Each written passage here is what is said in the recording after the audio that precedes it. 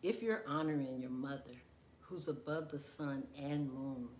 into the heavens of Mother Earth's pregnant womb, may your memory of her unearth a love